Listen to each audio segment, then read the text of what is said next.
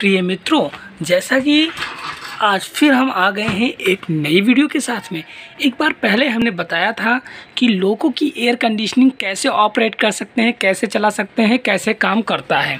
लेकिन आज हम बताने वाले हैं आपको कि उसके अंदर कौन कौन से कंट्रोलिंग पार्ट्स लगे होते हैं और इसे कैसे ऑपरेट कर सकते हैं।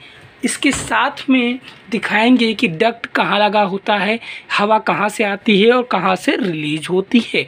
इन सब चीज़ों के बारे में एक एक करके बात कर लेते हैं। सबसे पहले अगर बात करें तो इस जगह से, इस जगह से हवा सक करता है, फ़िल्टर से होते हुए हवा जाती है, फिर एवोपरेटर में टच करते हुए, ठंडा करते हुए इस जगह से वापस आ जाती है। ये तो थी बात एयर सर्कुलेशन की।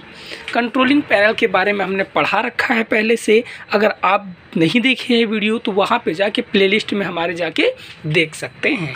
वहाँ पे एक से एक अच्छी से अच्छी नई नई वीडियो आपको मिलती रहेगी। नॉलेजबल वीडियो, जो कि आपके बहुत काम आने वाली हैं। अगर आप इसके बारे में देखे हैं, जानते हैं लोगों को एयर कंडीशनिंग कैसे काम करता है तो आप कमेंट बॉक्स में मैसेज ज़रूर कीजिएगा। और थ्री फ़ेज़ एसी पे अगर आपने काम किया है थ्री फ़ेज़ सप्लाई पे आपने काम किया है तो आप कमेंट बॉक्स में मैसेज ज़रूर कीजिएगा।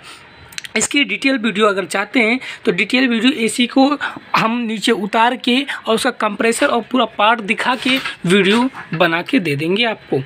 तभी आज सिर्फ़ बताते हैं कि हमारा ये कंट्रोल पैनल कैसे कंट्रोल पैनल कैसे काम करता है और इसमें जो सेफ्टी डिवाइसेस लगी हैं, वो कैसे कैसे काम करती हैं।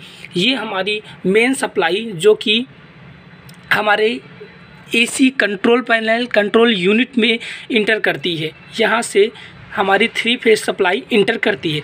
थ्री फ़ेज़ सप्लाई हमारी सबसे पहले एमसीबी में जाती है।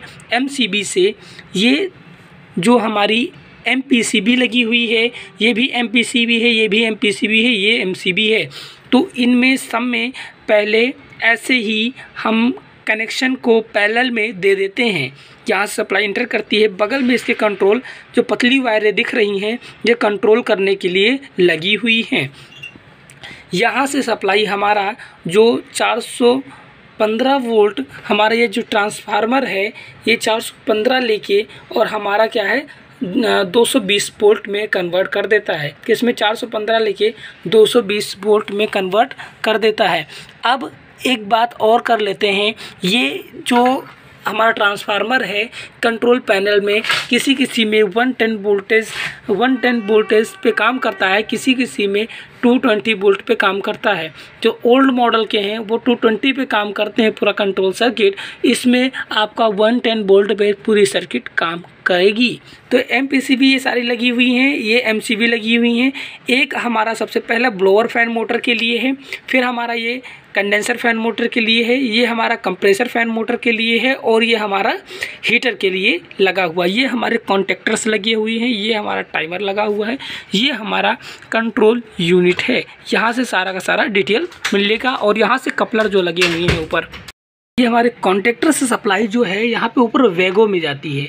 ये वेगो में वायर को अटैच करने के लिए लगाया गया है वेगो और वेगो से सप्लाई हमारी इस कपलर में चली जाती है। ये कपलर आपने ती, तीन कपलर हमारे लगे हुए हैं।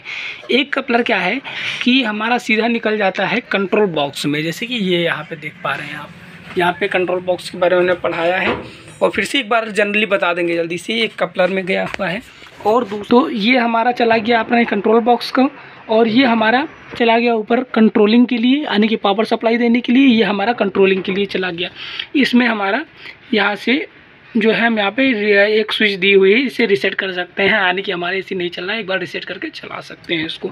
इतनी चीज़ें थी। अगर आपको समझ में आई है तो अच्छी बात है, नहीं समझ में आई जो चीज़ तो कमेंट कीजिए। अगर आप देखें इसके बारे में तो एक बार कमेंट ज़रूर कीजिएगा। अपना नाम कमेंट कीजिएगा बताइए कि हम देखें। इस इस पोस्टर का इसकी शॉट ले सकते हैं, आप वायरिंग डायग्राम पढ़ सकते हैं। अगर अच्छे से नहीं दिख रहा है तो बता देना, आप कमेंट कर देना। फिर से हम वायरिंग डायग्राम के बारे में पर्टिकुलर अकेले ही वीडियो बना देंगे। और ऑपरेटिंग की बात करें तो यहाँ पे ऑपरेटिंग करने में कोई दिक्कत नहीं है। आप एक नंबर पे करेंगे तो सिर्फ़ आपका ब्लोवर चलेगा। दो नंबर पे दो नंबर पे कर देंगे।